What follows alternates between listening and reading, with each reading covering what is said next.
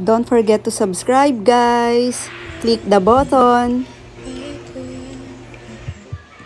Hi guys! Welcome to my channel. I'm Bea Jimenez. Uh, yun nga guys, uh, i-continue ko na yung pag-upload ng song ni Moira na Paubaya.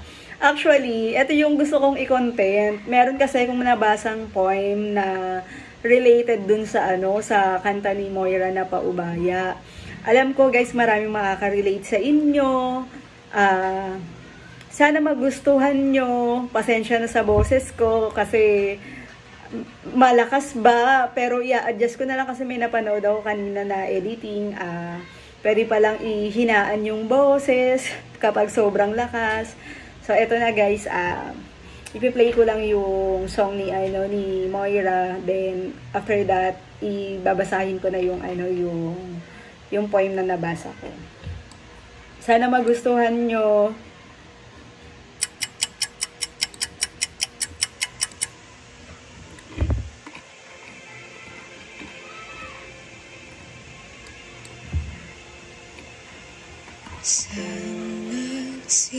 Katulad ng mga kwento sa libro, mga pag-iibigang masaya ang dulo, nais ko sana ang sa atin ay di magbago. Isusulat kung saan totoo ang ikaw at ako.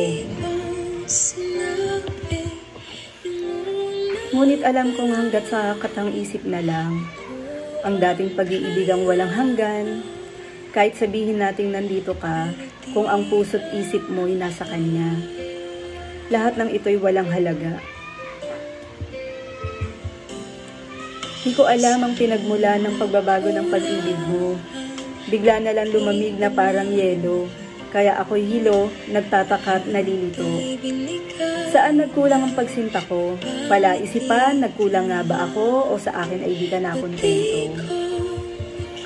Sa'yo'y hindi nga ba naging sapat kahit na pagmamahal na ibinigay sa'yo'y tapat? Kung kaya't hinanap mo sa iba, ang sa akin ay wala. Ibinigay ko naman ng buo ang lahat ng aking pagkatao. Wala nang itinira sa sarili ko, mapadama lamang sa'yo ang pagmamahal na ito.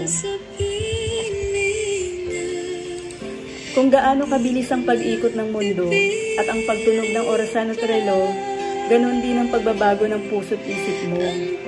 Ngayon, siya na ang laman nito na kung saan dati ay ako. Nais ko lang naman na ang halaga ko'y makita. Paano mo nga ba mapapansin kung ang iyong puso't isip ay nakalaan na sa kanya? Kaya kahit anong gawin kong ibalik sa umpisa, baka sakaling pagmamahal mo sa akin bumalik pa, alam kong wala ng pag-asa.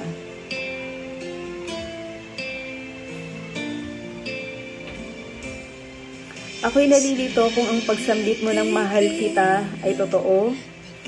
Ang mga katagang ipinangako mo sa akin, sa kanya mo pala balak tuparin. Ako ang bumuo sa durog mong pagkatao. Ako ang naging landas para maabot mo ang mga pangarap mo. Pero bakit? Bakit nung nasa tuktok ka na, iba na ang iyong kasama at tila sa kanya ka maligaya? Ang hirap lumaban kapag alam mo ng talo. Mahirap pumasok sa gera na ako.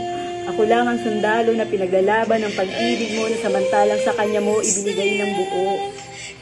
Habang ako nandito, naghahangad ng muli mong pagsilyap kahit sa sandaling isang iglap.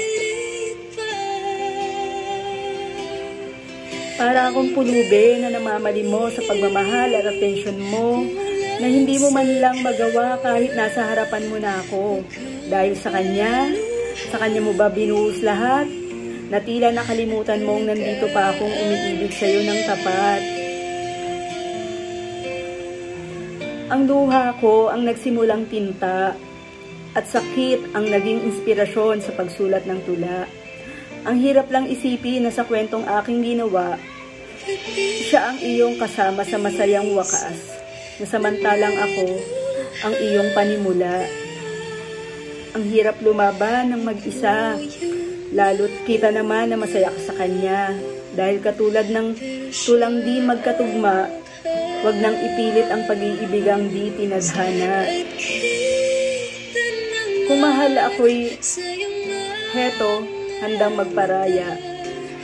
kung sa kanya kung tunay na maligaya. Kaya ikaw ay aking pinauubaya. Kahit na ang puso ko'y hirap bumitaw, sa panaginip na meron pang ako at ikaw, pero wala akong magagawa. Kailangan ko nang gumising sa pantasyang aking akda.